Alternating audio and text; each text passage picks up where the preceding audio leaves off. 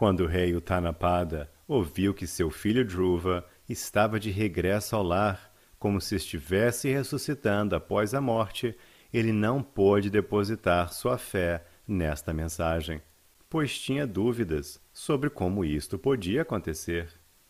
Ele considerava-se muito miserável e por isso achava que não lhe era possível obter tamanha boa fortuna. Embora não pudesse acreditar nas palavras do mensageiro, ele tinha plena fé na palavra do grande sábio Narda. Assim, ficou muito emocionado com a notícia e imediatamente ofereceu, com grande satisfação, um colar preciosíssimo ao mensageiro.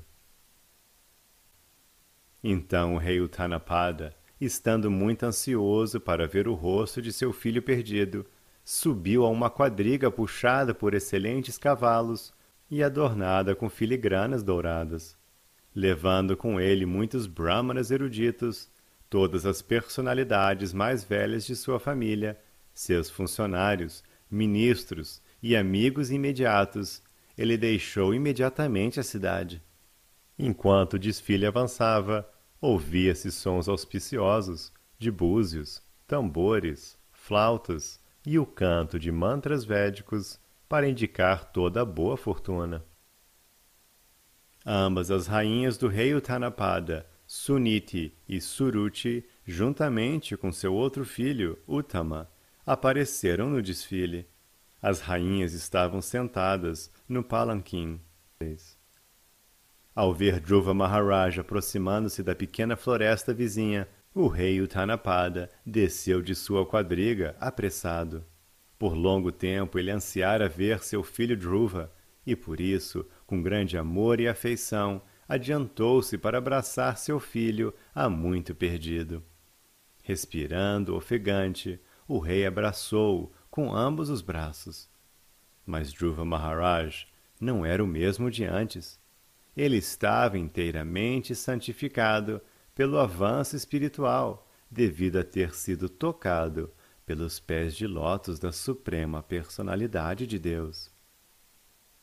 O reencontro com Dhruva Maharaj satisfez o desejo há muito acalentado do rei Uttanapad, e por essa razão ele repetidamente cheirou a cabeça de Dhruva e banhou-o com torrentes de lágrimas muito frias. Então Dhruva Maharaj, o principal de todos os nobres, primeiramente ofereceu suas reverências aos pés de seu pai, que o honrou com várias perguntas. Em seguida, prostrou a cabeça aos pés de suas duas mães. Suruti, a mãe mais nova de Dhruva Maharaj, vendo que o inocente menino cair a seus pés, imediatamente levantou-o, abraçando-o com suas mãos, e com lágrimas emocionadas, ela o abençoou com as palavras: Meu querido menino, que tenhas longa vida. Todas as entidades vivas prestam honras a quem tem qualidades transcendentais por se relacionar amistosamente com Deus. Assim como a água flui automaticamente para baixo por sua própria natureza. Os dois irmãos Uttama e Dhruva Maharaj também trocaram lágrimas. Eles estavam dominados pelo êxtase de amor e afeição, e ao se abraçarem mutuamente, os pelos de seus corpos arrepiaram-se. Suniti, a mãe verdadeira de Dhruva Maharaj, abraçou o tenro corpo de seu filho, que lhe era mais querido do que sua própria vida e assim esqueceu-se de todo o pesar material, pois estava muito satisfeita. Meu querido Vidura, Suniti era a mãe de um grande herói. Suas lágrimas, juntamente com o leite que escorria de seus seios, umedeceram todo o corpo de Dhruva Maharaj. Isto era um sinal muito auspicioso.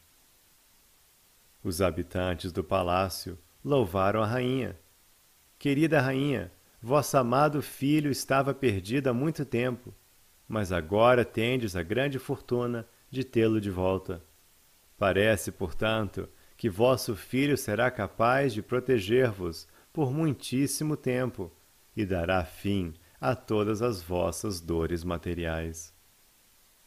O sábio Maitreya continuou: Meu querido Vidura, enquanto todos assim louvavam Dhruva Maharaj, o rei ficou muito feliz e sentou Dhruva e seu irmão nas costas de uma elefanta.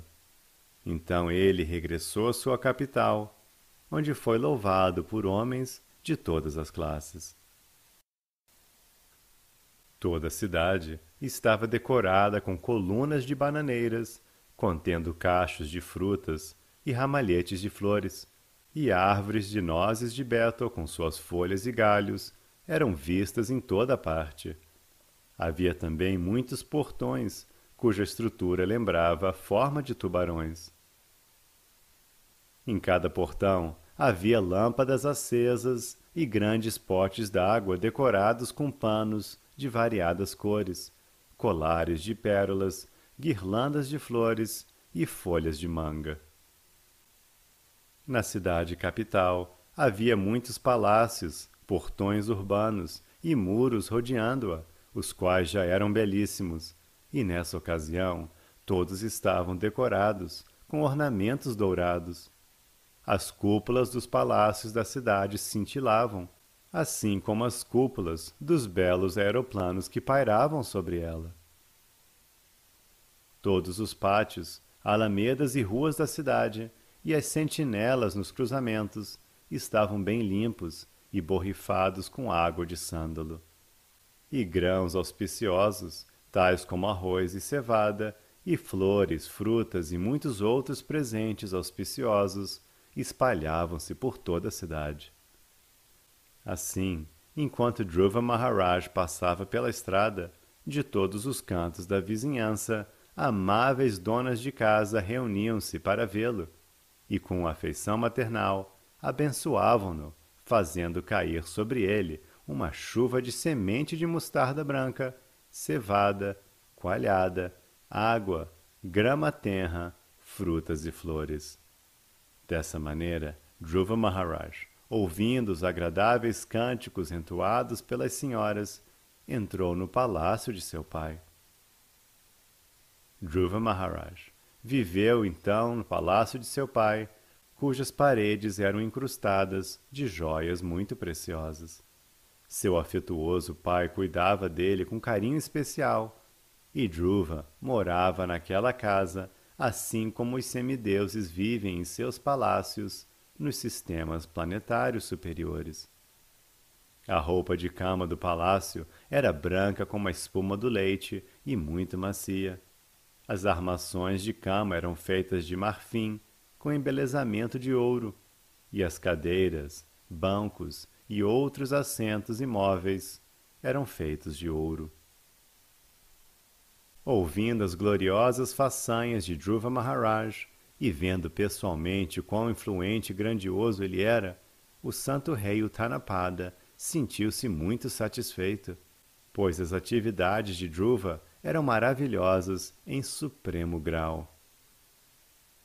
Após a devida ponderação, o rei Uttanapada entronou Dhruva Maharaj como imperador deste planeta, vendo que ele estava adequadamente maduro para encarregar-se do reino e que seus ministros concordavam com a ideia e os cidadãos também gostavam muito dele.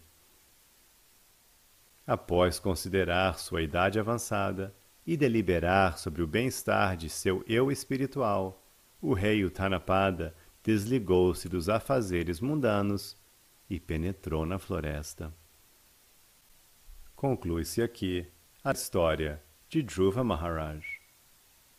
Esta gravação foi realizada no Paraíso dos Pandavas, gravada por mim, Giridhari Das, discípulo de Srila Hridayananda Das Goswami Acharya Deva, e foi editada por Sadhu Sangha Prabhu discípulo de Srila Dhanvantari Swami.